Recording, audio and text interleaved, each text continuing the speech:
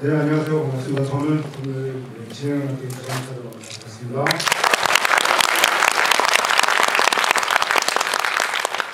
네, 그 두 분 뭐 간단히 인사 말씀 부탁드리겠습니다. 예. 어, 여기 우리 처음 보시는 분도 혹시 있을지 모르겠지만 그분들께는 어, 면허보다 죄송하다는 말씀. 어, 이 보셨더라도 어, 극장에서 보는 건 또 처음이다 이런 분들이 계실 텐데 어, 극장에서 영화는 역시 극장에서 봐야 된다는 사실 저도 또 한 번 실감했어요 며칠 전에 그, 다 모여서 한번 봤는데 우리 관계자들이 네, 영화가 뭐 좋고 나쁨을 떠나서 극장에서 보는 건 역시 다르다는 건 정말 절감만 했습니다. 그래서 그거 좀 경험하셨기를 바랍니다. 고맙습니다.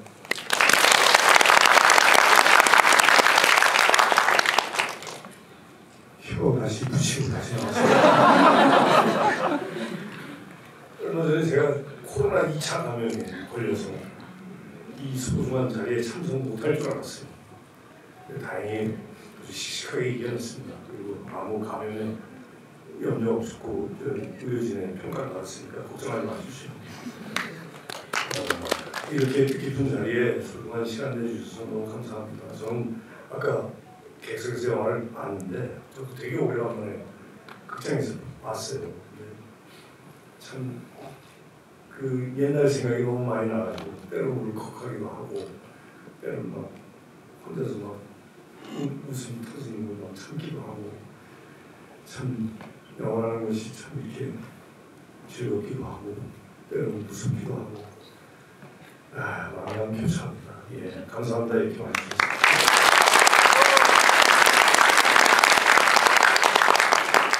네, 오늘 행사는 1시간 정도 예, 진행이 될 예정이고요. 그리고 지금 오픈 채팅방에 이미 많은 질문을 올려주고 계시고 여기도 들어갈 수 있는 수용 인원이 100명이다 보니까 들어가지 못하신 분들 계세요. 그래서 나중에 이제 그 대화를 나누고 객석 질문을 받을 때는 이 채팅방에 올려져 있는 질문에 더해서 객석 질문도 예, 살짝 예, 받을 예정입니다.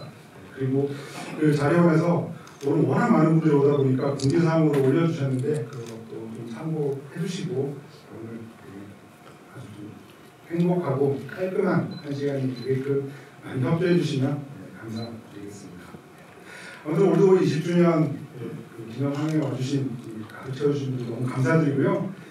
먼저 저는 그두 분께 좀 질문 드리고 싶은 게 뭐냐면 두 분의 첫 만남입니다. 왜냐면 제가 이 질문을 드린 이유는 제가 예전에 키노라고 하는 잡지에 있을 때 이 두 분 그러니까 그 최민식 배우가 그 장승업이라는 작품으로 이제 표지 촬영을 할때 그때 이제 키노에서는 이제 그 표지 인물인 배우를 감독이 인터뷰하는 그런 꼭지가 있었는데요. 그때 그 최민식 배우의 그 인터뷰어로 그 당시 이제 목수는 나이거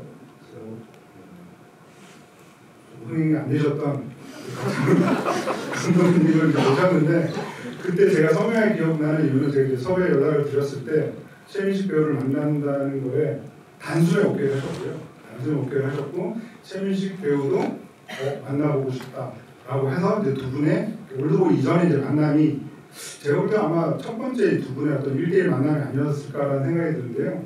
그때 이제 인터뷰 자리에서 제가 기억에 남는 뭐몇 가지 인상은 그 최민식 배우는 그 앞서서 장성업이라고 하는 작품을 하면서 이제 임권택 감독님과 최연선 아 죄송해요. 그 취하선의 작품을 하면서 임권택 감독님과 그 여러 그 연세 많으신 스태프들하고 하다 보니까 현장에서 담배도 제대로 못 피웠다라는 얘기를 하시면서 뭔가 다음 작품은 또래 감독과 하고 싶다라는 그 뉘앙스를 조금 많이 비치셨고요. 두분한살 차이가 나시는데 또 그때 이제 박찬욱 감독님은 제가 이런 말씀 드려- 드려드릴지 모르겠지만 굉장히 뭐랄까 좀 아양을 떠셨다고 해야 되나 그 이제 그런 말씀도 하셨어요. JSA에서 그 오병필이 이제 그 초코파이를 하잖아요. 그 초코파이 같은 경우는 최민식 배우의 그 쉴이라고 하는 작품에서 최민식 배우의 그 박무영이 그 햄버거 얘기를 해요. 그래서 그 햄버거에서 착안해서 자기는 초코파이를 했다는 얘기를 하시면서 자기는 너무너무 그 최민식 배우의 매력 하나를 꼽으면 정말 귀여움이다. 너무너무 귀엽다는 얘기를 하시면서 굉장히 어필하셨던 네, 그런 기억이 있습니다. 그래서 두 분의 그때 혹시 그첫 만남이 좀 기억하시는지 좀 여쭤보고 싶습니다.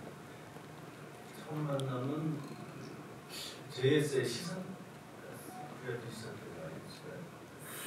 포함하고? 그때 그때 오시긴 했는데 네, 인사를 나누지는 못해. 네, 그때 뒤풀이 때 인사했죠. 아, 그, 그 기억나는 게, 음, 그 자, VIP 시사를 하면은 이제 서로 좋은 자리를 그, 그, 누구든지 얻고 싶잖아요. 그래서 이제 배려를 하는 입장에서 주최 측에서는 고민에 빠지는데 최민식 선배에게 좋은 자리에 못 갔어. 뭔가 사고가 있어가지고. 어린 저 구석에서 어, 그래가지고 송강호 씨가 걱정을 많이 했어요. 어, 그 구석자리에서 무식이 해서 이거 어떡하나. 아또 손이. 그래서 근데 어그 그래서 걱정 다 끝나고 나서 어, 미안하다 막 이런 문자를 했나 봐요 강호 씨가. 근데 그 선배가 야 이런 영화는 거꾸로 매달려 받은 조, 그 감동적으로 볼 영화였어. 뭐 이렇게 멋있는 또 후배를 그 후배 걱정을 또 이렇게 다독여주면서도 영화 칭찬도 잘 해주고 그런 표현이 아, 너무 멋져서 오래 기억에 남았어요. 어, 원래 이렇게 말을 구- 이렇게 좀 어, 멋, 멋있고 정답고 구수하게 잘 하는데 유명한 분이죠.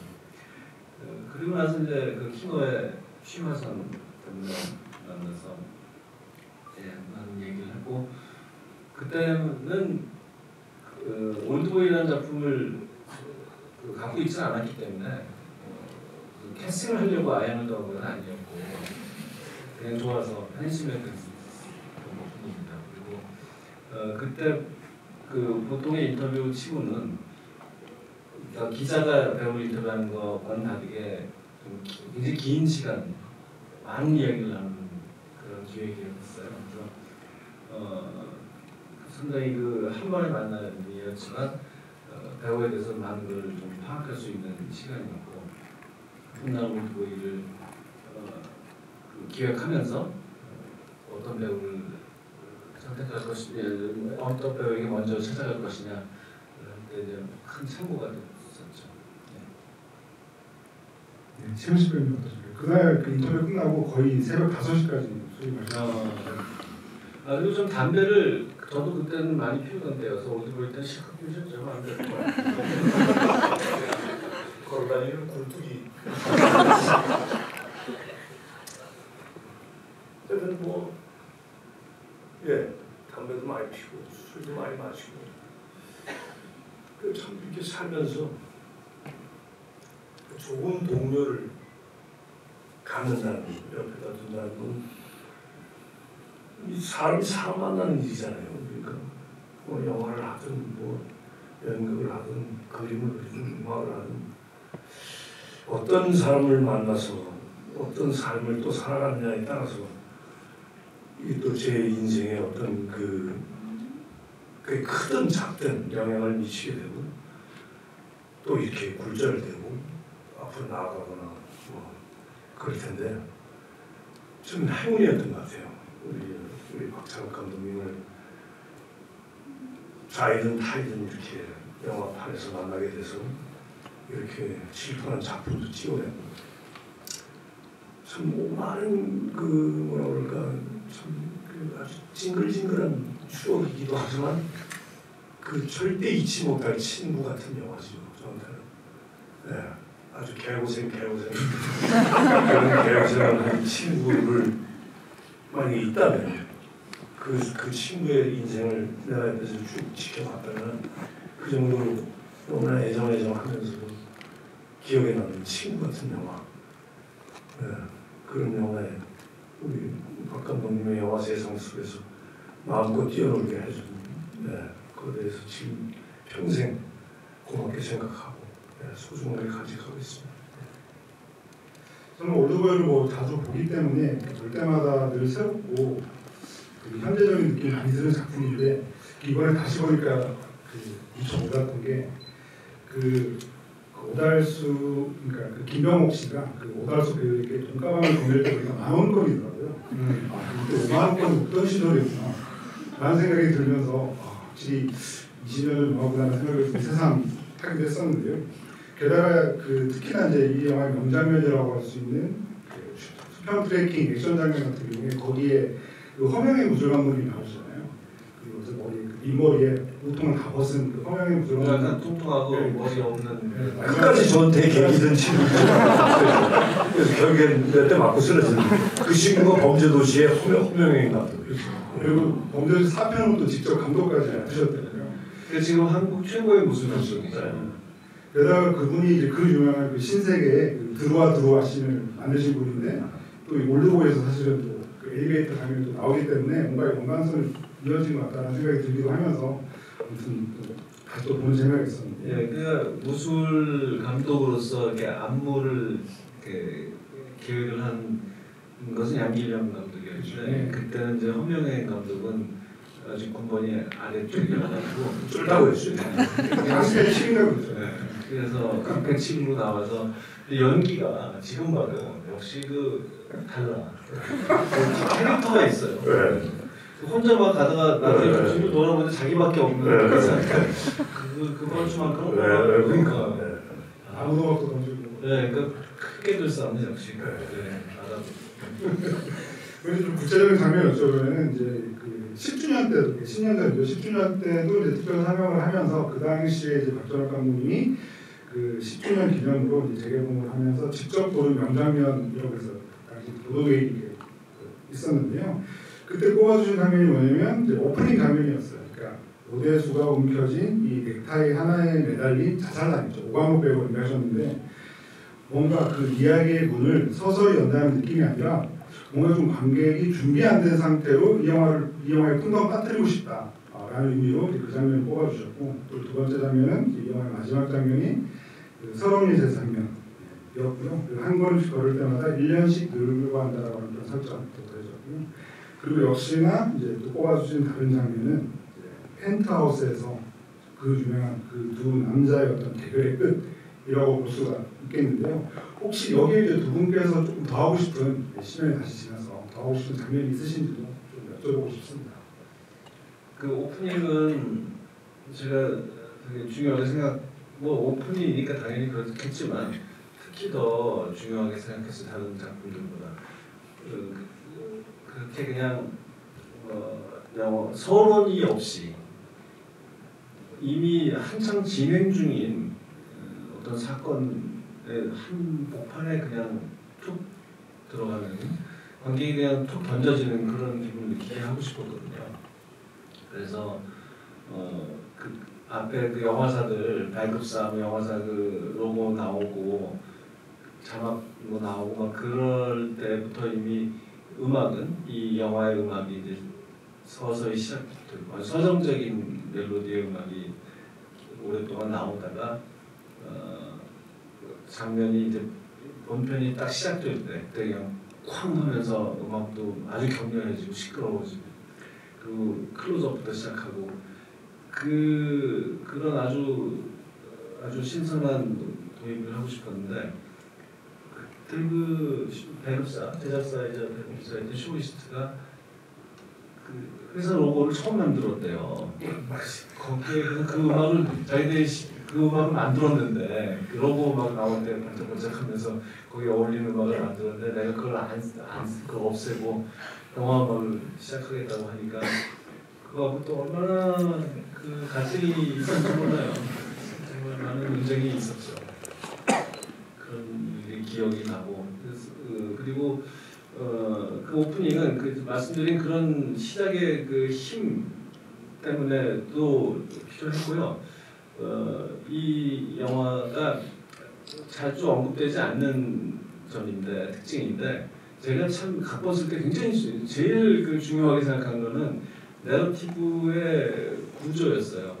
어, 이게 이제 잘 생각해 보시면 그 오광록 씨 자살하려고 하는 그 사람에게 들려주는 형식으로 이야기가 어, 오대수가 자살남에게 자기가 겪은 일을 들려 내, 내 얘기를 해주고 싶다 그러면서 들려주는 형식이란 말이에요. 그렇게 해서 어, 어떻게 해서 이 오대수가 감금망에 들어갔고 어떻게 해서 나오게 됐는지까지만을 그 들려주고 그 다음에 또 이제 현재 시제로 이야기가 진행되다가 그 다음에 이제 미도가 그 녹색 커버에 공책을 읽잖아요. 그 자서전을 읽잖아요. 오대수에 거기까지는 또 그 형식이에요. 그, 그 미도가 읽는 자서전의 내용으로 이 내러티브가 지- 진행되는 거예요. 또 그 다음에 끝날 때쯤 되면 이제는 최면 수사가 오대수의 편지, 긴 편지를 읽었잖아요. 짐승만도 못한 놈이어도 뭐 그렇게 끝나는. 그러면 그 여, 여기까지의 스토리는 이 편지에 담겨 있는 내용이에요. 그래서 이렇게 어, 다양한 방식의 회상 구조예요. 어, 이런 시도는 좀 별로 없었다고 하- 저 제가 아는 한도 내에서 별로 없었기 때문에 어, 아주 독창적인 구조를 만들어 보려고 애써봤던 그런 각본이거든요. 그래서 그 이 오프닝에 오, 그 오광록 씨가 얘기하는 그 남자와의 이 만남이 그런 의미에서 굉장히 중요했습니다. 그리고 네, 중요했어요. 네. 저는 이번에 이렇게 다시 보면서 20년 지났더라고요. 20년. 이 지금 독특한 구조에 대해서 말씀을 하셨는데 이 시나리오를 만약에 우리 박 감독님이 우리 만화책 보고 중국집에서 만나가지고 빼갈 먹으면서 얘기 이게 처음이거든요. 임승용 대표 지금 그 당시는 프로듀서인데 저기 강남의 동천 뭐 어디 그 중국집에서 서로 만화책을 보고 이제 만났어요. 근데 만화책 그렇게 재미없었어요. 내가 만화책 재미없는데 그건 아주 영화적인 소재로서 솔깃한 게 누군가가 누군가에게 어떤 잘못을 했길래 15년이라는 시간과 세월을 예, 통제당하고 자유를 박탈당한다. 그리고 이 사람을 15년 만에 풀어준다. 굉장히 영화적이잖아요. 예, 그걸 가지고 이제 아까 보는 이야기를 했는데 저도 대본이 처음 나왔을 때 야, 이거 처음 보는 형식이었어요. 처음 보는 냄새였고 이걸 만약에 요즘 이 대본을 써서 투자를 받는다고 한번 과연 이 영화가 만들어질까 하는 아주 강하게 듭니다. 예. 모든 것이 저도 저 역시도 그랬었거든요. 저 스스로가 검열을 했어요. 이 이 저 미도하고의 관계 때문에 우리나라에서 이게 가능해? 그러니까 우리 박 감독님 그때 아주 명쾌한 답을 그 술자리에서 내주셨죠. 그럼 햄리스, 오이디푸스는 이건 오대수의 성적 취향이 아니다. 세상에서 가장 잔인한 복수를 지금 당한 거다. 뭐 아무 말 못하죠. 가보, 가, 가보입시다. 그래가지고 그 당시 이 종교를 기반으로 둔 언론사가 지금도 있죠. 한두 군데 있죠. 예. 그 언론사에서 사설을 썼어요. 막 나가는 한국어. 표현의 자유도 좋지만 이 과연 이대로 좋은가? 이 내용을 준 것인가? 참. 예. 그게 예. 에, 미국에서 어느 나라에서나 마찬가지인데 어, 감독과 스튜디오 사이에 갈등이 생기잖아요. 근데 그것을 해소해 줄 수 있는 가- 감독 편에서 이 문제를 해결해 줄 수 있는 제일 좋은 사람이 스타예요. 그 영화에 만약 스타가 있다면 어, 굉장히 힘 있는 스타가 있으면은 그 사람이 그 스튜디오 사람에게 보스에게 아 그거 좀 그거 좀 그냥 좀 내버려 둡시다 뭐 이렇게 한마디 해주면은 그게 이제 힘을 받고 가게 되는 그런 역사가 어느 나라 영화 역사에 다 있단 말이야.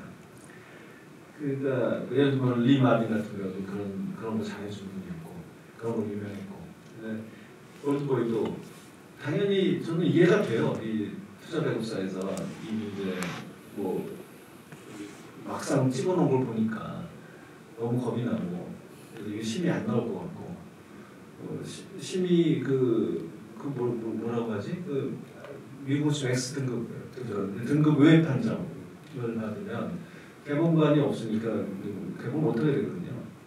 그걸 겁을 내는 마음은 좀 이해가 되지만 어쨌든 어, 정서 장면을 빼달라는 요구가 있었어요. 그- 그런 갈등 상황 속에서 이렇게 편을 들어주는 그러니까 스타가 편을 들어준다는 것은 어마어마한 그 원문은 없는 거죠.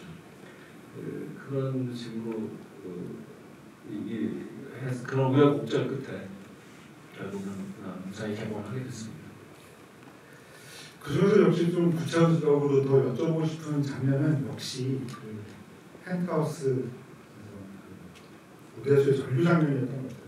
그래서 저는 이 작품을 이제 그 당시 깐영화제 출장을 가서 그 무예를 대극장에서 봤을 때 기억이 선명한데요.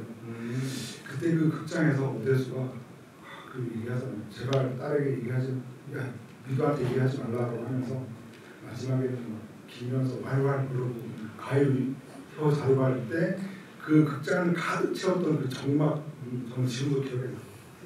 정- 어마어마한 그 정말 압도당하는 그런 느낌을 받던 기억이 있는데 그- 그 장면에 대해서 이제 그 볼 수 있었던 것은 여기도 여기 계신 분들도 많이 보셨을 텐데 그 올드보이였던 제작 과정을 그린 그 올드데이즈라고 하는 2016년 다큐가 있는데요. 많이들 보셨을 텐데 거기에서도 되게 상세하게 묘사가 되더라고요. 보면서 느꼈던 건 그 블레이드 러너 있잖아요. 블레이드 러너 마지막에 정말 악전고투하면서 찍었던 그 과정이 있어요. 스태프들이 촬영하면서 졸고 그리고 올드 데이즈를 보면 실제로 마지막에 펜트하우스 장면이 계속 길어지고 끝이 잘 안 나니까 뭐 최민식 배우가 그 나서가지고 자 이제 앞으로 어떻게 촬영을 할 건지 뭐 지금 집에 가서 내일 하루 옴팡으로 옴팡 쉬고 그 다음날 가서 찍자 이게 1안 그리고 또 2안 이러면서 투표를 하시는 그런 모습을 보면서 와, 그 블레이드 러너의 그 마지막 장면을 그렸던 그 Future Noir라고 하는 그 책도 있는데 아, 그게 떠오르면서 아, 이 장면을 진짜 전쟁하듯이 촬영했구나라는 생각이 들어서 그 마지막 펜트하우스 장면을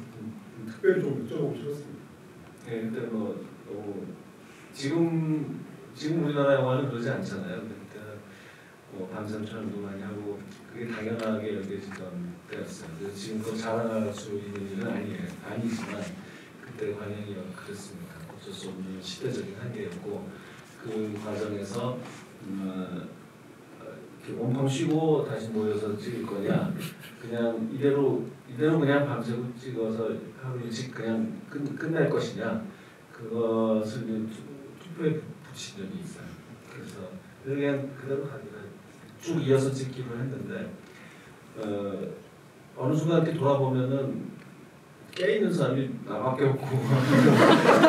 이런 그 상황이 좀 연출되곤 했었지만.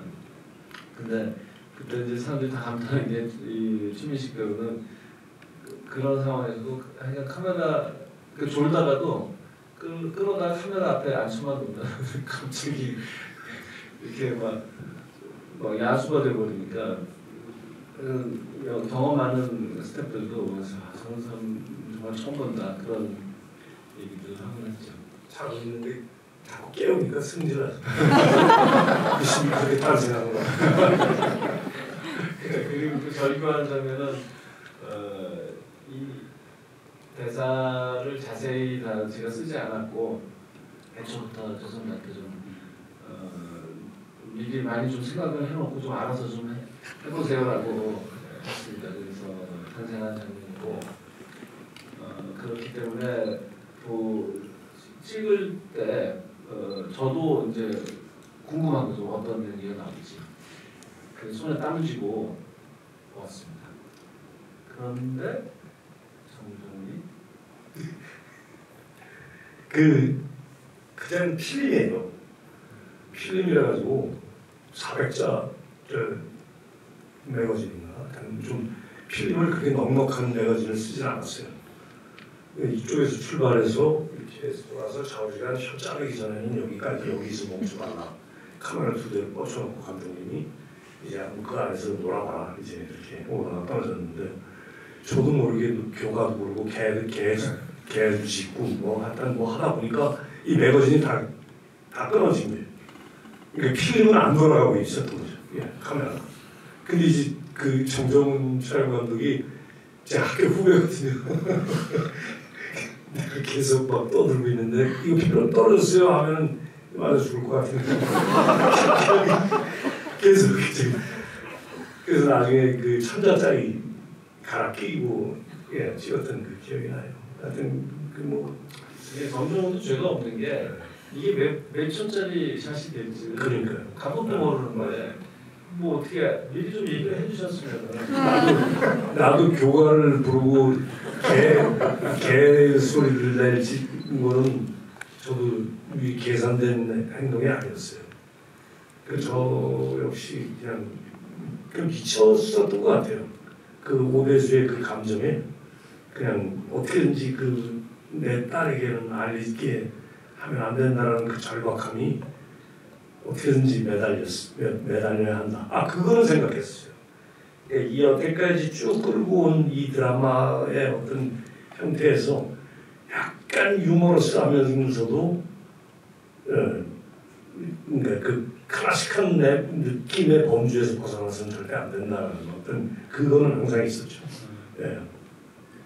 정정훈이 잘못 생각한 게 하나 저렇게 미친 듯한 열연을 하고 있는데 잠깐요 형 이거 필름 끊어졌어 이제 안 시켜요 라고 중단시키는 것이 두려웠겠지만 사실 다 찍고 다 연기를 마쳤다. 다 했는데 아 형 죄송해요. 뒤 후반부는 안 시켰어요. 라고 더, 더 무서운 일인데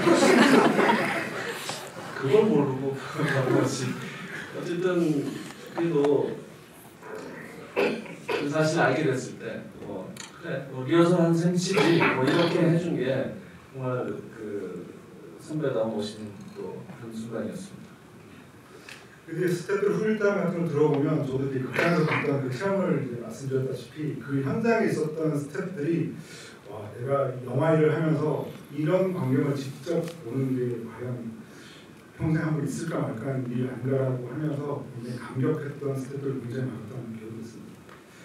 그리고 또 올드보이는 사실 이제 그 어떤 그 한국 영화 어떤 그 세계적인 어떤 위상이라고 하는 측면에서 빼놓을 수 없는 측면이 분명히 있는데요. 그걸 좀 더 설명을 드리면 그 제가 이제 예전에 즐겼던 심슨 가족이라고 하는 그 애니메이션에 올드보이가 올드보이라는 제목으로 등장하진 않았지만 살짝 등장한 적이 있어요. 왜냐하면 그 심슨 가족 옆집에 굉장히 힙한 젊은 부부가 이사를 와서 그 아들이 바트 심슨하고 친해져서 아, 요즘에 한국 영화가 되게 힙하다.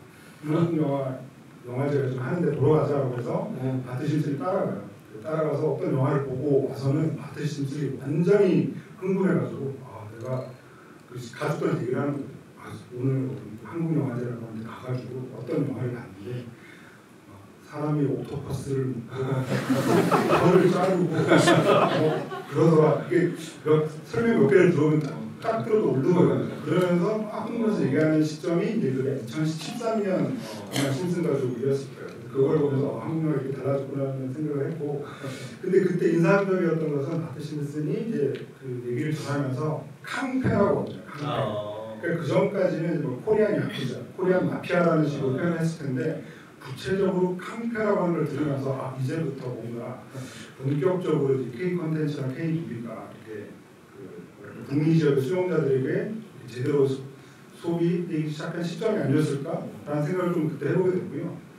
그 또 하나는 그 워낙 뭐 유명한 거긴 하지만 그 킹스맨 있잖아요. 킹스맨 시크릿 에이전트 1편 같은 경우에 그 교회 대학살 신 장면 같은 경우는 그 매튜 본 감독이 그 올드보이의 그 장도리 씬을 보고 이 영감을 받아서 연출했다 그런 식으로 롱테이크로 연출했다라고 이제 얘기가 어, 많이 전해졌죠.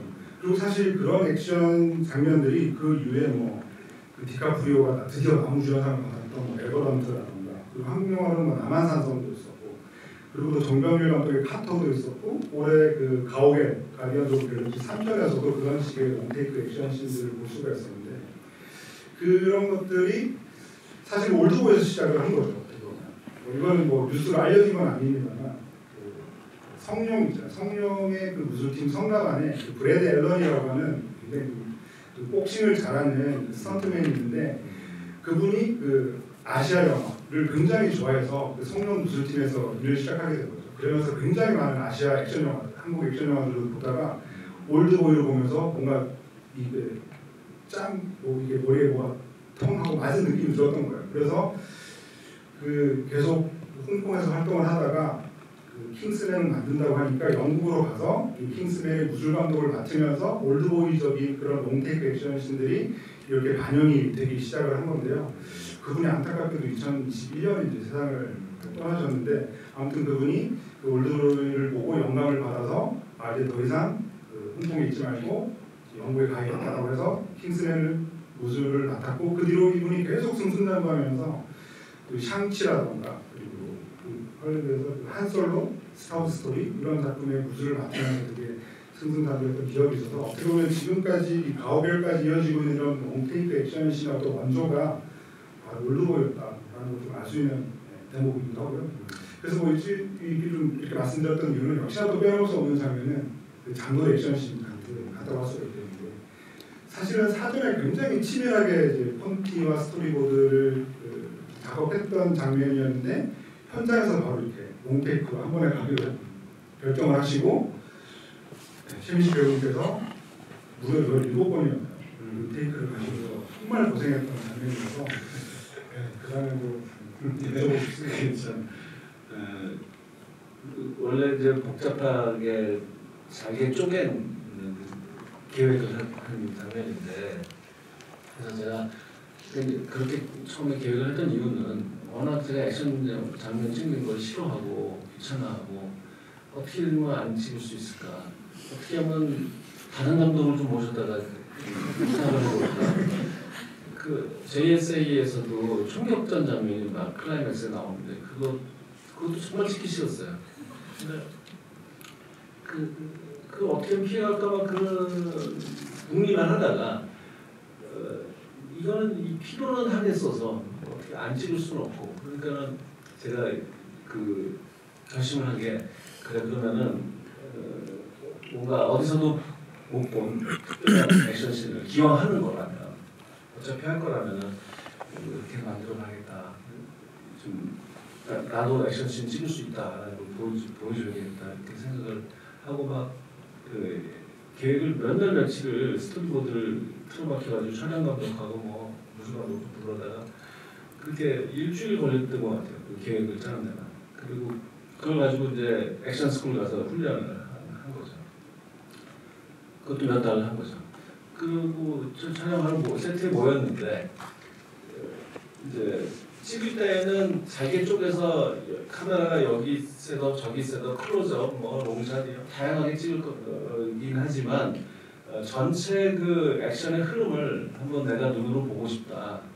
옷을 입고 그냥 옷을 입진 않았나? 그냥 그, 그 실제 액션이 벌어질 그 장소에서, 그 세트에서 그동안 연습은 한뭐 액션 스쿨 그 도장에서 했으니까 그 실제 찍을 장소에서 하는 걸 보고 싶다라고 해서 세트 한쪽 벽을 뜯고 어, 전체를 흐름을 보려고 했, 리허설을 한 거예요. 근데 그 대신 힘드니까 어, 저기 열심히 하지 말아라. 대충 천천히 어떻게 움직이는지 그 동작만 내가 보였더니 힘들이지 말고 하세요라고 했는데 그렇게 했는데도 불구하고 그래 그 천천히 했는데도 불구하고 다 끝나니까 완전히 지쳐갖고 주저앉아서 그 헐떡헐떡 하더라고요.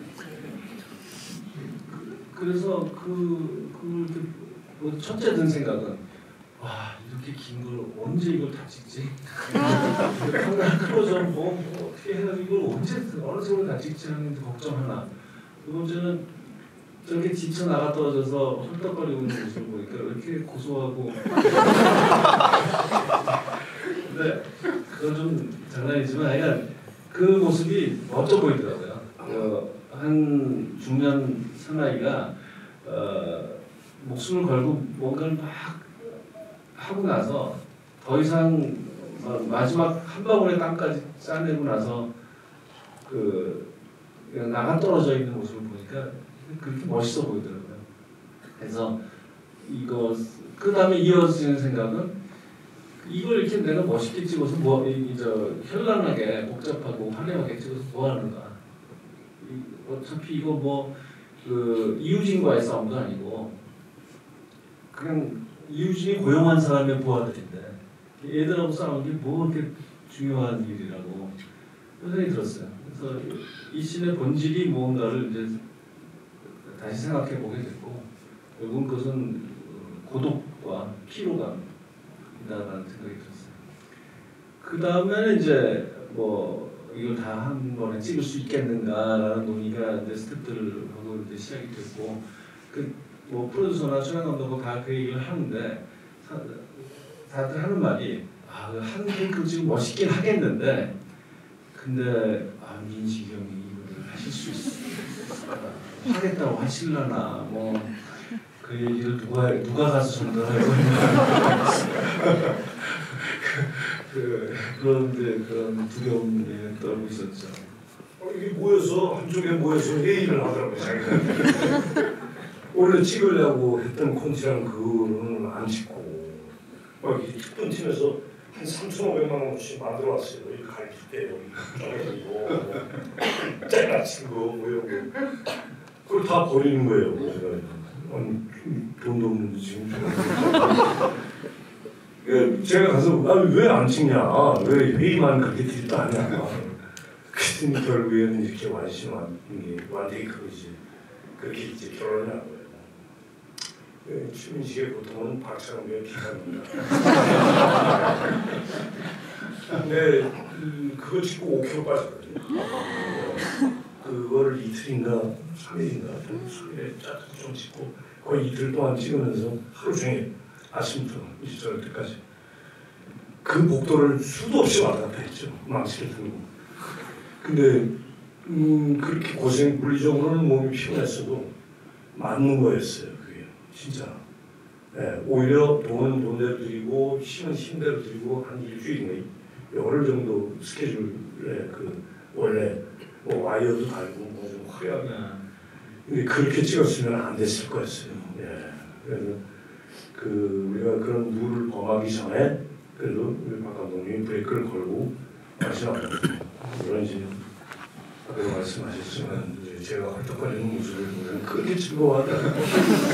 그래 내가 얼마든지 헐떡거리지 마. 네. 그 실- 네. 그 실제로 올드데이즈 다큐를 보면 뭔가 그 실식도가 그렇게 굉장히 고생하고 이렇게 테이크를 끝내고 와서 옆에서 굉장히 티를 내듯이 이렇게 숨을 헐떡거리는 굉장히 별로 신경 안 쓰셔요. 묵묵하게 바라보시는 감독의 표정이 인상적으로 기억이 나요. 그때 그 making 보면은 강호가 송강호가 옆에서 구경 왔다가 아유 한번 더 와요.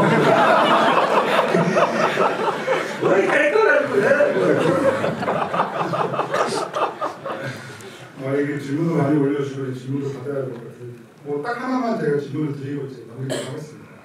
그뭐 어떤 뭐 위대한 영화라도 뭐 당연히 세월이 지나 지나면 10주년이 되고 20주년이 되고 30주년이 될 텐데 올드보이라고 하는 작품이 10주년이 됐을 때 의미를 가지고 있는다고 생각해 보면 뭐 최민식 배우와 감독님이 지금도 여전히 훌륭하게 중심으로 계속 열심히 활동을 하고 계시고 계속 뭐 연기적으로나 작품적으로 계속 진화하고 있다는 생각이 들고요. 더군다나 제가 가장 또 인상적으로 느끼는 대목은 뭐 몇년 전 이제 박찬호 감독님께서 뭐 이런 인터뷰를 진행하시면서 그 올드보이에 대한 얘기를 하시면서 그 올드보이에서 이 미도라고 하는 캐릭터가 결국에는 이 영화가 보여주는 어떤 진실에서 도외시된 채로 끝난 그 결말이 계속 마음에 걸려서 이후에 영화시나 이제 현실 결심 같은 작품들로 이어진 어떤 그 여성 캐릭터에 대한 관심으로 나아갔다라고 그때 지난 그 올드보이라고 작품에 대해서 약간은 반성적인 시선을 이렇게 담아서 얘기하시는 그런 대목이 굉장히 인상적이었고요. 결국 그런 그 태도나 이 시선이 있기 때문에 그 시간이 지날수록 이 작품에 대한 의미나 이런 것들이 더 더해진다라는 생각이 들어서 그 부분에 대해서도 감독님께 여쭤보고 싶었습니다. 예, 예, 사실 영화에서 여성 캐릭터를 어떻게 묘사하는지에 대한 관심이 전혀 없었던 것은 아- 아니고 주의를 기울이고는 있었는데 JSA에서는 그 이영애 씨가 맡은 역할이 원래는 소설 원작에서 남자였고 네, 어, 이렇게 남성들로만 이루어진 군대 조직에 들어온 여성. 그것도 소- 양쪽 남북과 북에서 다 그 밝히고 싶지 않은 진실을 이제 파헤치러 오는 그것도 이방인 혼혈이 여성이 와서 이것저것 쑤시고 다니는 그런 상황에서 당하는 그런 불친절하고 반감에 가득 찬 그런 그런 그런 대우를 받으면서 할때이 영화의 주제가 더 살아날 수 있겠다라고 생각했던 것인데 그것은 어, 여성 캐릭터에 대한 관심이라기보다는 좀 뭐랄까요? 그 어떤 설정랄까요? 개념적인 어, 그런 기능적인 면이 좀 강한 아이디어였죠. 네, 그 밖에도 다른 영화들에 어, 좋은 여자 배우들이 좋은 역할들을 해줬지만 특히 올드보이에서는 어, 비교가 빈, 이 진실을 몰라야 이 영화가 성립되는 것이라서 어쩔 수는 없었습니다만은 그래도 어, 좀 미안한 기분이 들었어요. 영화 끝나 그렇게 끝나고 나니까 그래서 더군다나 목수 3부작이라고 이름 붙인 기획을 이미 어, 발표를 해버렸기 때문에 세 번째 영화를 뭔가를 찍어야 되는데 그러면 여, 여자 주인공으로 마무리를 하면 좋겠다라는 생각을 하게 치- 친절한 자식을 만들게 된 거고 어, 거기서 이제 그 이영애 씨를 JSA에서 어, 그렇게 좀 약간 어느 약간 좀 기능적으로 사용한 면이 좀 있었기 때문에 그거 그것에 대한 이제 좀그 뭐랄까 미안한 마음도 있고 해서 이영애 씨를 다시 데려다가 그 영화를 만들게 되었습니다. 거기서 또 이제 희대 얄미운 악당을 해주셨죠.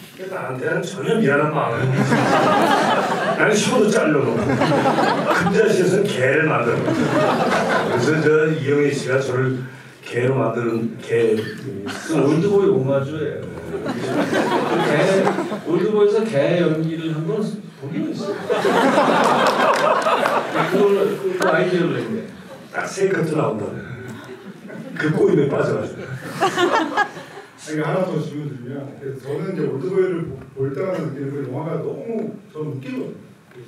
박찬욱 감독의 특유의 유머가 되게 잘 살아있다는 생각이 들면서 특히나 이제 제가 좋아하는 장면 중에 하나는 정말 그 정말 그 뭐랄까 긴장감 넘치고 긴박한 순간에도 터지는 유머 같은 것도 분명히 있는데 예를 들어서는 그 이제 그 박철웅한테 약간 포박당에 있는 그러니까 상체를 노출한 채로 있는 그 미도가 살려주세요 아저씨라고 할 때 내가 죽게 생겼다는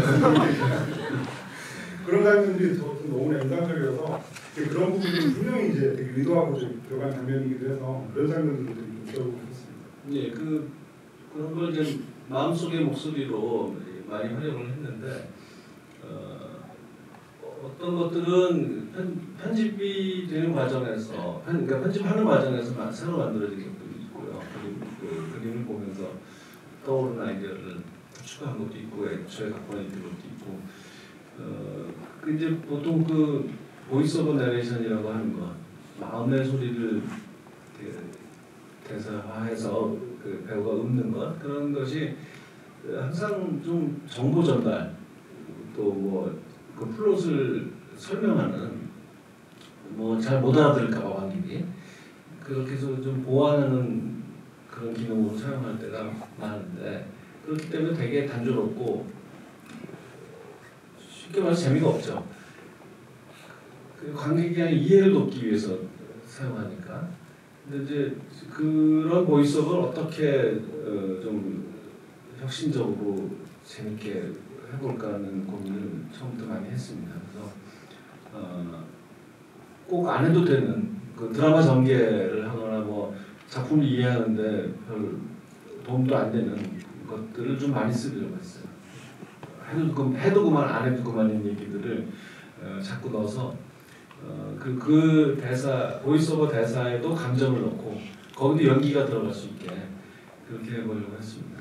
그, 그러니까 이제 또 워낙 목소리가 좋잖아요. 이 목소리 좋다는 게 그냥 뭐, 뭐 저음에 뭐 목욕탕처럼 울리는 뭐 그런 그, 그런 연극의 그런 좋은 목소리 말고 정말 감정이 실린 목소리를 가졌고 그런 걸 잘하는 배우라서 최대한 활용을 하려고 했죠.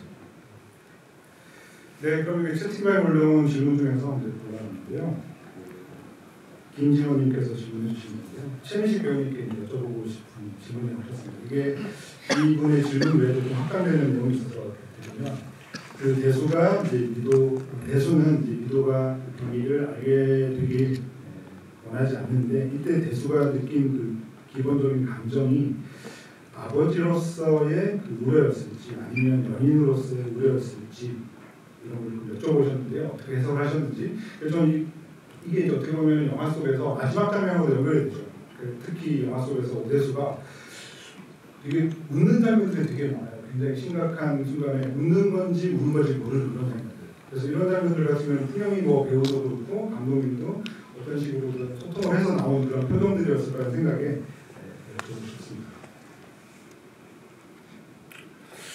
글쎄 배우들이 연기를 할 때 어떤 내 경험에서 끄집어내서 뭔가 응용을 하는 경우도 많이 종종 있긴 하죠. 근데 이 상황 자체는 도저히 제이 역량으로는 이해가 되지 않았어요.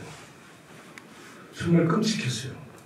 이게 나한테 벌어진 일이다. 일이다라고 생각을 했을 때 아, 과연 나는, 난 나만 죽었을 거예요. 내가 자살하지 않았을까. 네, 근데 이 오대수는 어떻게든지 계속 살아가죠. 살아가는데 그 오대수가 이, 이 모든 사실을 이우진의 복수의 이 모든 걸 다 알고 나서 미도에 대한 생각은 아마 어, 본인도 몰, 몰랐을 거예요. 모를 거예요. 예, 그러니까 뭐 엄청난 감정의 파동이 있지 않을까. 그, 그 고통이 그 고통을 끌어안고 살아가는. 예. 그러니까 아마 지우고도 싶기도 하- 하고. 예. 이게 또 어떤 이- 이성으로서 또 어떤 그런 감정도 분명히 느꼈 느꼈단 말이죠. 이게 이게 이게 도대체 수술이 안 되는 거죠, 그러니까 한마디로. 예. 만약에 그렇게 한번 생각을 해봤어요. 이, 이 올드보이 이후에 한 10년 후, 와, 끔찍하다. 예. 그러니까 저는, 그러니까 저 역시도 굉장히 그때 우리 감독님 direction이 이게 웃는 듯 우는 듯, 지워진 듯 안 지워진 듯. 참이 알려요. 이제 그 그것이 이제 예, 오대수의 그 복잡하면서 그 절망과 그 참 인간으로서 갖기 힘든 경험하기 힘든 아주 그 어떤 천명의 하늘이 내린 경험을 어떤 그 그 고통을 이제 끌어안고 그 마지막에 그 산맥을 이렇게 둘이 뒷모습을 이렇게 꼭 바라보고 있는 그 앞으로 그두 부녀의 앞으로의 인생에 응? 그 휘. 그 산맥에 휘몰아치는 그 황량한 그 겨울바람을 마치 암시라도 하듯이 예, 그거는 그 불투명은 과연 명, 명쾌한 어떤 해석이 있는 게 아니라 관객 여러분들도 이 영화를 보시고 그, 그 부분에 그 저처럼 똑같이 가슴 답답함 그, 그 아주 그 불쾌한 듯한 그, 그 아주 그 이유 모를 찝찝함 아마 그게 답이 아닐까 싶습니다. 예. 나, 어, 이게 음, 보통 그, 그 열린 결말이라고 말하는 것에 해당한다고 할 수 있겠지만 어, 이 경우는 제가 그, 그런 식의 결말을 선호하진 않아요 평소에 늘 그렇지 않은데 이 작품은 그게 맞다고 판단했고 이것은 그냥 무책임하게 어, 그냥 감정 없는 다기보다는 관객의 선택을 그, 바라는 할수 있습니다. 이 오대수가 기억을 지우기를 바라, 바라는 관객이 있을 테고 어, 그렇지 않는 관객도 있을 것이고 어, 이 영화를 어떻게 모아왔는지 자기 자기의 그 사랑에 대한 그 견해 같은 것이 있을 테니까 각자가 선택하는 결말이라고 저는 봤습니다. 그래서 제가 어, 영화 편집을 해보신 분이라면 알 테지만 이 여사, 배우가 웃고 있을 때 활짝 웃고 있을 때 딱 freeze를 걸어 놓으면 멈춰 놓으면 화면을 이게 우, 우는 것처럼 보일 때도 있고 또 울고 있는 장면을 멈춰 놓으면 활짝 웃는 것처럼 보일 때도 있거든요. 그게 한 프레임만 딱 보면은 우는 건지 웃는 건지 잘 모를 때- 때가 있어요. 그런 데서 찾아낸 건데 이게 웃는데 분명히 이 이를 보이면서 활짝 웃는데 그것이 오래 지속 오래 그 안 변하고 계속 이렇게 얼굴에 고정되어 있으면은 이게 좀 분- 이제 분- 분명해지는 단계가 옵니다.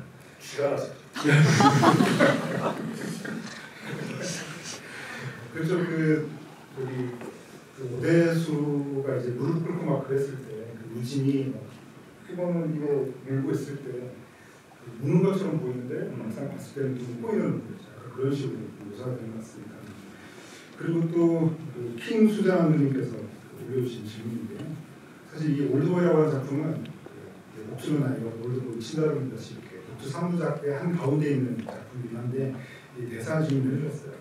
복수심이 강하다 약하다를 떠나서 이 영화에서 복수심이 그 어떤 나의 어떤 성격이 되었다라고 표현을 하고 있는데요. 그 이 대사를 좀 어떻게 의도했고 또 어떻게 이해를 하셨는지 질문해 주셨습니다.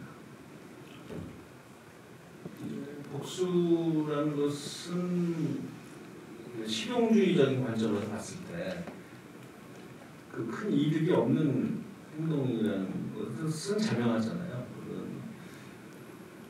어, 오대수가 이렇게 한다고 해서 15년 감금되었던 그 세월을 되돌릴 수 있는 게 아니기 때문에 어, 사실 해봤자 아무 소용도 없고 그 이 시간에 더 건설적인 일을 하는 것이 본인에게 이롭겠죠. 근데 어, 그 미도는 이제 그런 쪽으로 권유를 하는 건데 그 오대수로서는 이제 멈출 수가 없는 단계에 와 있는 것이고 그, 그렇게 표현해 봤습니다. 네, 그러면 그 사실 이게 다 들어오지 못하신 분들도 계셔서 이제 그 객석의 질문을 받아볼까 하는데요. 손 들어오시면은 마이크를 전달해 드리도록 하겠습니다. 질문은 한 번 하나씩만 짧게 본인의 감상을 너무 말씀하지 마시고 질문만 깔끔하게 해주시기 바랍니다. 어? 의외로 하나 많이 가시죠? 아, 아, 예. 아, 먼저 이렇게 훌륭한 영화 만들어주신 감독님과 배우분께 감사하다고 말씀드리고 싶고요. 제가 드리고 싶은 질문은 처음 우진이랑 우진이랑 대수가 만나는 장면에서 우진이 아니 대수가 먼저 방에 들어갈 때 스위치를 막 껐다 켰다 하는데 그게 전혀 작동이 되지 않고 처음 만나게 되고 그리고 마지막에 그 대수가 그 우진이 던진 리모컨을 받아서 그 작동을 시키는데 전혀 작동이 되지 않고 그런 장면이 우진이 대수를 처음 만났을 때부터 끝까지 그 모든 게 내가 짜여진 틀 안에서 네가 움직이고 너는 전혀 어떤 발광을 해도 그 너가 이루고 싶은 건 전혀 이루고 싶지 않다라는 거를 은연 중에 나타내는 연출이 아닐까라고 생각이 들었어요. 혹시 그런 거를 생각하시고 하신 건지 궁금하고 혹시 비슷한 다른 연출이 있으면은 에피소드가 있으면 말씀해 주시면 감사하겠습니다. 예, 우진은 그런 캐릭터이고 어, 마치 그 영화의 감독, 각본도 쓰고 감독도 하고 제작도 하고 막 이런 사람 같은 그런 존재죠. 그이 거대한 15, 15년에 걸친 예, 거대한 그 대하 드라마를 어, 쓰고 연출하는 감독 같은 사람이에요. 그래서 어, 완전히 디테일까지 통제해야 직성이 풀리는 그런 사람이고 그래서 사실 그 미도와의 관계를 어, 그 관계가 이루어지도록 그 최면을 거는 것서부터가 굉장히 그 철저하게 통제하는 방식으로 이루어져 있잖아요. 그래서 어, 그의 오대수에게 하는 모든 거 하나하나가 다그 계획되어 있다.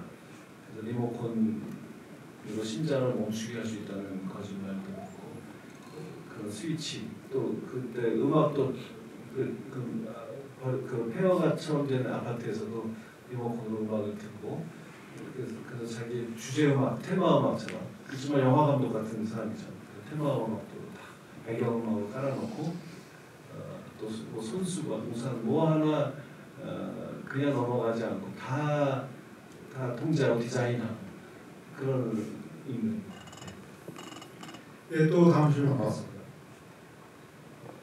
네, 여기 그때 흰색 옷 입으신 제일 뒤에 네 번째. 네, 어디서?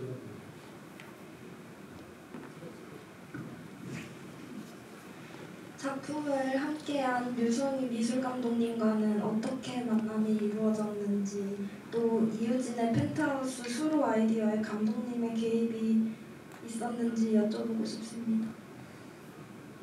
유성희 씨는 그 피도 눈물도 없이라는 유승환 감독 작품에서 이제 얘기를 들었고 그, 그 현장에 제가 놀러 가서 만난 인사도 나눴고 그, 그, 그, 그 사람이 만들어 놓은 세트를 보고 이제 감탄하기도 했고 지금은 참 이루어지지 않는 일인데 그 사람이 한국에 들어 유학을 마치고 한국에 돌아오기 전까지는 이 프로덕션 디자이너라는 개념이 없었어요. 그런 직업이 없었어요 아예. 그, 그 세트 디자인을 누가 했냐면 세트를 시공하는 업체 사장님이 했어요. 그러니까 어, 그냥 세트에 국한된 일이고 어, 그 디자이너가 아니고 근데 미술 감독 실제 프로덕션 디자이너의 일은 세트뿐만 아니라 영화 전반에 그 배우를 빼고는 그러니까 살아있는 존재를 빼고는 모든 시각적 요소를 어, 그 거기에 관여해서 큰 전체 그림을 만들고 룩을 설정하는 일을 망라하는 그런 큰 일인데 그거 그런 일을 처음으로 한 사람이죠 그 사람이. 그래서 저는 이런 사람이 나타나기를 기다렸다고 할 수 있어요. 그래서 드디어 이제 만나게 됐고 그, 그 같이 이제 올드보이를 하기로 한 다음에 살인의 추억 현장 살인의 추억을 또 찍더라고요. 그래서 거기 현장에도 자주 갔어요. 그래서 그 형사들 강력반 그 사무실 거기 가- 가서 보면서 구석구석 그 손길이 안 닿는 데는 없고 어, 심지어 신문 철이 있는데 그 신문도 정말 그 시대 신문을 다 복사해서 어, 넣고 그게 그런 디테일이 영화에 보일 리는 없지만 배우들이 연기할 때 그런 소품이나 그 가구나 이런 것들이 다 진짜처럼 보일 때 배우들의 연기가 훨씬 자연스러울 수밖에 없고 그런 면까지 배려하는 것을 보고 계속 놀랐었죠. 그래서 여태까지 계속 작품을 모든 작품을 해오고 있습니다. 미국에서 하는 거 빼고는 그리고 수로는 사실 제가 원래 원했던 것은 수로가 아니라 한 줄짜리 수영장이었는데 이 유리 창에 바로 붙어 있는 한쪽 수영장의 한쪽 면은 유리창인 거죠. 그래서 그 유지태 씨의 그 그렇게 길고 하얀 몸이 참그 고층 건물 바깥에서 먼 야경으로 찍었을 때 어, 무슨 큰 물고기가 이렇게 떠다니는 것처럼 찍고 싶었어요. 근데 돈이 없어가지고 그 유성희 감독이 미술 감독이 그거를 돈 때문에 못하니까 대신 이런 걸 해드리겠다라고 하면서 제안한 게 그 수로였습니다. 그 수로 현장에 그 당시에 취재 기자들이 많이 취재를 갔었는데 엄청 많이 수로에 빠졌다는 엄청 많이 빠졌던데 이번에는 여기 그 채팅방에서 하는 질문이면 보통 뭐 10주년 10주년 이렇게 상영을 할 때마다 확장판을 이렇게 소개한다거나 이런 경우가 있기 때문에 이두 분께 이제 여쭤보신 것이 어, 좀그 당시 좀 편집이 됐거나 그래서 좀 혹시라도 뭔가 확장판 디렉터스 컷 같은 걸 한다고 하면 추가하고 싶은 장면이 있으시면 기억나시는지 여쭤보고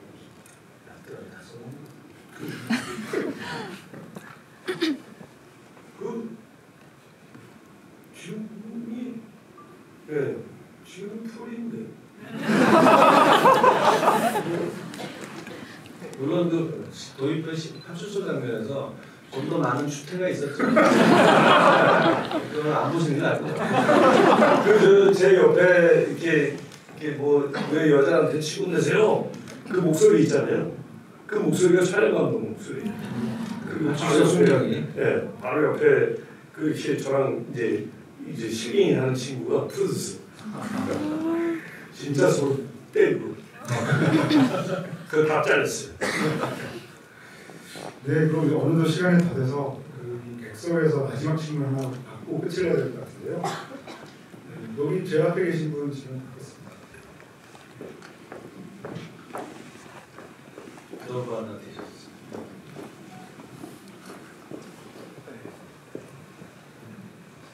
아, 아, 네, 맞습니다.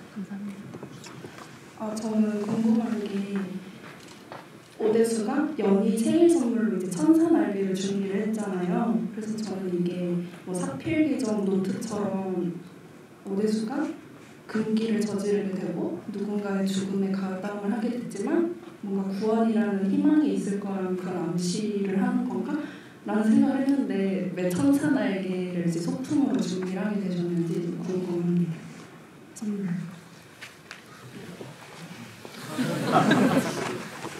그런 정도까지 생각은 안 해요. 그건 확실하고. 저하고 잘 어울리는.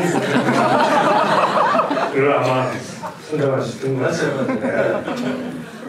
가장 안 어울리는 소품을 해야 재밌으니까. 그, 근데 그게 우리가 그냥 예를 들어서 뭐 인형이다. 그러면 이렇게 인형을 보여주기만 하는 것이 아니라 이게 자기가 이렇게 할 수 있으면 그게 더 웃기고 재밌고 더, 더 정답잖아요. 그 근데 이제 마, 또 마지막에 미도가 그것을 이렇게 하는 것이 손에 들 수 있는 작은 것들보다는 그게 낫다고 생각했어요. 그 날개짓 하는 건데 굉장히 잘하시더라고요. 원래 집에 가 두고 왔어요. 아유 이게 사실은 그거 미, 미도 먼저 찍은 거 아시죠? 그거 미도 먼저 찍고 거기에 맞춰서 찍으신 거예요. 그러니까 강혜정 배우가 이렇게 이렇게 그. 예, 제가 그런 디렉션을 주지 않았는데 그 혼자서 그렇게 하더라고요. 그- 그게 너무 어, 사랑스러웠어요. 그래서 너무 이뻤어요. 음, 그래서 이대로 해달라고. 그래서 이게 저도 사랑스러웠어요. 네, 아, 그 시간이 너무 부족하죠. 한 시간으로는 정말 이 영화의 어떤 10분의 1도 들려주지 못하는 그런 곡이라는 생각이 들고요. 아, 이 채팅방이라 이렇게 객석에 질문 너무 많은데 다 소화하지 못하는 거 너무 죄송하고요. 네, 여러분이 이해해 주셨으면 감사하고요. 아무튼 그래도 끝으로 이두 분의 마지막 말씀 드리면서 해볼까 합니다.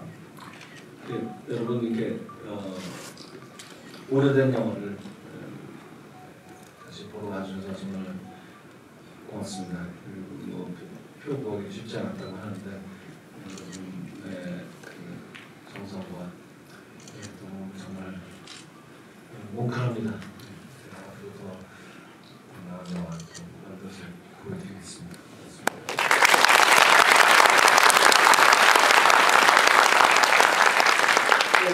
진짜 그 20년의 소회를 어떻게 한 시간 안에 여러분들한테 어디 이렇게 토대로 자리를 옮겨가지고 어디 근처 술집에서 가고 예, 그 얘기해도 모자랄 판입니다. 예, 너무나 많은 만감이 결사하고요. 어, 정말 많은 생각을 하게 됐어요. 이번 이, 이 행사를 준비하면서 음, 그런데 제일 크게 자리 잡고 있었던 건 행복함이에요. 예, 물리적으로 힘들었다, 뭐 어, 투자가 힘들었다, 뭐 영화하면 제작하고 보면 별일이 다 있습니다. 근데 그래 그럼에도 불구하고 지금까지 20년이 지난 세월에도 이렇게 생각하고 추억을 공유하고 진짜 관객 여러분들과 이런 소중한 자리를 같이 할 수 있는 있는 그런 영화를 우리가 만들었구나. 예, 참 너무 행복한 일이 아닐 수 없습니다. 예. 정말 어, 요즘에 빗대어 봤을 때 참 이런 얘기를 하면 안 되는데 사실. 예. 우리 그때 참 자유로웠구나 이런 게 느껴졌어요. 예. 우리 정말 그래도 투자 돈 받기 힘들어도 그래도 우리가 생각한 것을 우리가 영상으로 구현해내기 위해서 정말 우리가 노력을 했구나. 그리고 그걸 실현시켰구나. 어떤 그 자부심. 오늘 한번 다시 한 번 느꼈어요. 예, 그래서 우리 후배님들도 많이 힘들겠지만 음, 획일화 되지 말고 예, 거침없이 자유롭게 그게 되든 안 되든 made가 되든 안 되든 그런 시도를 해야 될 것 같다는 생각을 또 확실하게 해봅니다. 예, 이 선배인 저도 많은 도움이 되리라 노력을 할 테니까 예, 결국에는 창작자의 몫인 것 같아요. 이게 어떤 시스템에서 영화가 제작이 되고 어떤 배우를 통해서 이게 영화가 공개가 되고 이 그게 아니라 어떤 어떤 사람이 어떤 생각을 대중들과 호흡하고 소통하려고 했느냐에 대한 이야기인 것 같아요. 그게 다소 좀 불편하더라고요. 예, 너무 입맛에만 맞는 영화, 예, 너무 장사가 된, 될 만한 영화, 뭐 이런 것만 찾아서 우리가 움직일 게 아니라, 아, 이 여러분이 잘 드시는 제 스스로 다시 만드는데, 하여튼 여러분 너무 가- 감사합니다. 이렇게 시간 내주셔서.